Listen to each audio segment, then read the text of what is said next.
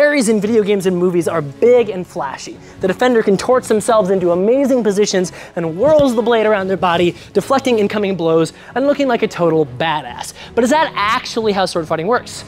Well, the answer is no. When it comes to defending ourselves with a sword, we're generally focused on two things, structure and timing. Big elaborate parries compromise our structure. Instead, we're gonna collapse our arms a little bit to create some natural shock absorption. And instead of reaching across the body, we're gonna turn our hips into the incoming attack so the chain of the body works with us. For timing, we don't want to overcommit to a parry. It's easy to bait someone's switch and attack them while they're really far out reaching for your sword. Instead, keep your parries nice and tight and conservative so you can change lines as you need to to defend yourself.